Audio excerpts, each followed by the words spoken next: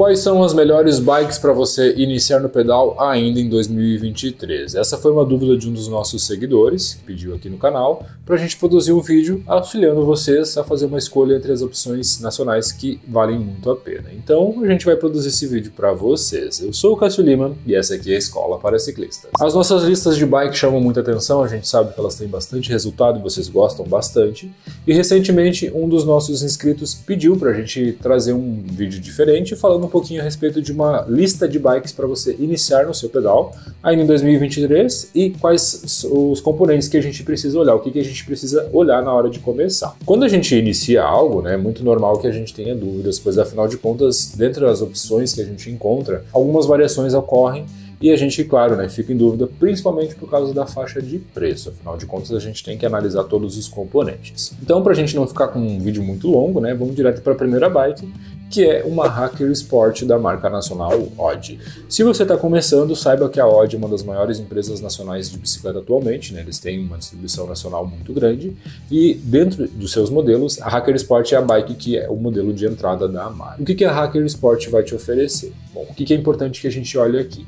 Em uma bike a gente precisa sempre checar o qual que é o seu quadro, se ele é de alumínio, como é o caso da nossa Hacker Sport, e também a suspensão, mas afinal de contas são dois pontos muito chaves no, na questão de montagem de uma bicicleta. No caso da suspensão aqui também é uma suspensão em alumínio, porém é uma suspensão que não tem a trava, ela não tem aquele acionamento com o botão que a gente conhece para quando é necessário, por exemplo, fazer uma subida ou quando você não precisa da suspensão funcionando. Então ela é uma suspensão que está sempre funcionando, sempre aberta. Na parte do grupo a gente vai ter um algo que é muito importante que vocês analisem, pois afinal de contas o grupo, a transmissão faz toda a diferença. No caso aqui a gente vai ter a conhecida Shimano, que é a mais conhecida do mercado, né, com um grupo Turner de 21 velocidades. Isso significa que ela vem com três coroas na frente com sete coroas na traseira. E a parte de escolha de câmbios da família Turner, a gente tem o Turner TY500, tanto na dianteira quanto na traseira. Dentro do Turner a gente tem três variações, né, o TZ, TY e TX.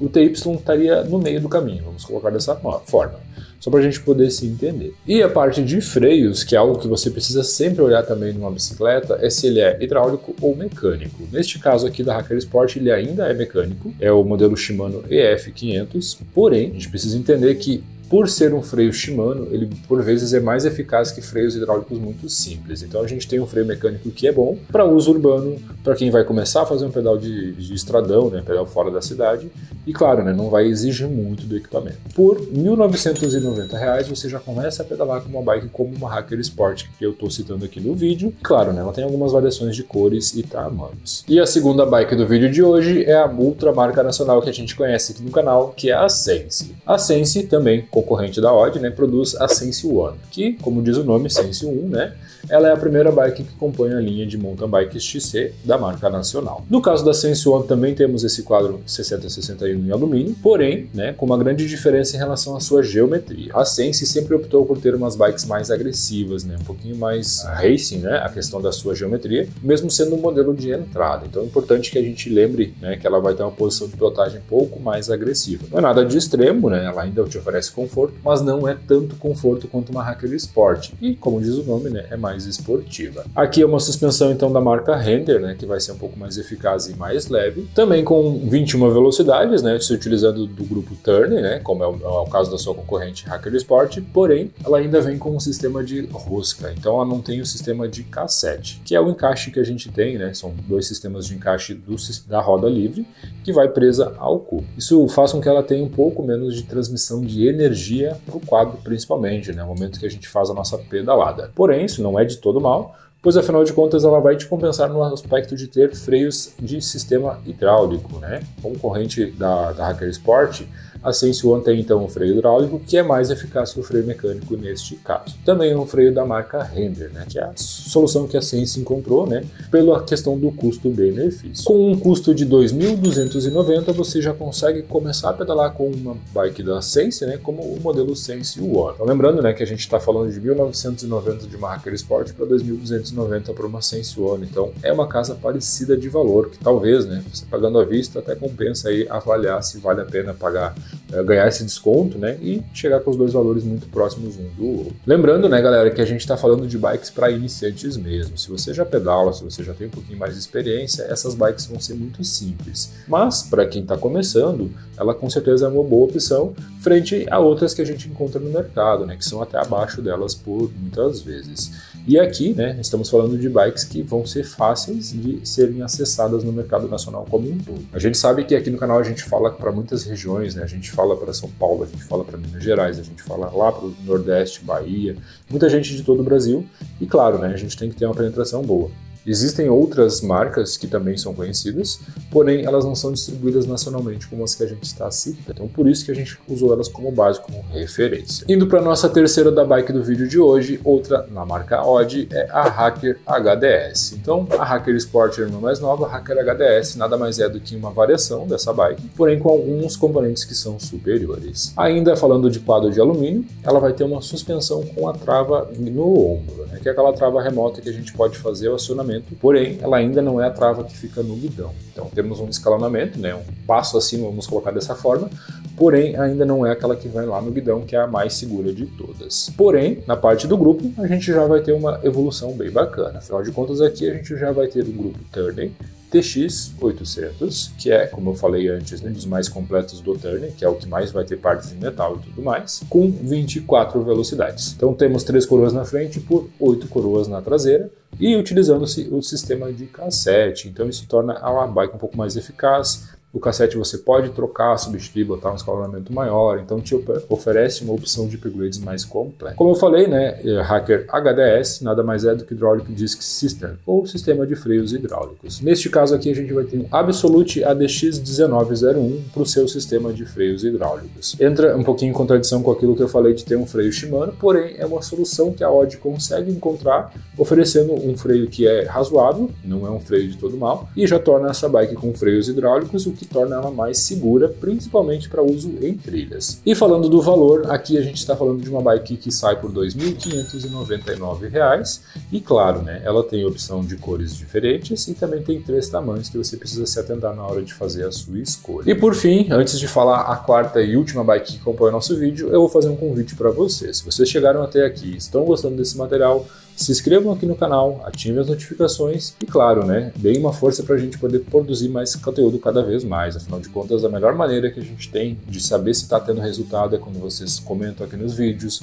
é quando vocês se inscrevem e, claro, também ativam as notificações para não perder nenhum vídeo das nossas séries. E a última bike que a gente vai trazer aqui para vocês hoje, ela fica muito próximo da sua concorrente, porém, alguns aspectos fazem com que ela seja um pouquinho superior. No caso do vídeo de hoje, né, a gente vai trazer uma Sense Comp, que que é a concorrente direta da Hacker HDS, frente Sense e Odd. Aqui a gente já vai ter uma suspensão da marca Gila. A gente tem um grupo que são 16 velocidades. Mas, Cássio, não era melhor ter mais velocidades do que menos? Tudo depende do escalonamento, que é o quanto que a coroa consegue atingir de alcance. O que a, Sense faz aqui que eu acho que é uma jogada bem inteligente? Eles utilizam um grupo Shimano, porém com o cassete, que é a parte onde a gente tem as marchas, que neste caso aqui da Sense é um Sunshine de 11,40 dentes, então ele tem um escalonamento mais alto, mais amplo, né, fazendo com que fique mais leve para subidas. E na parte do câmbio dianteiro, a Sense utiliza um câmbio de duas velocidades, então não é turning, né, no caso aqui um altos, e no câmbio traseiro a gente tem um TX 800. O ponto principal que eu acho que chama mais atenção é o fato de que os freios também são Shimano, aí aqui no caso o modelo EF505, que é o sistema de freios integrado ao passador. Né. Então a Sense consegue fazer uma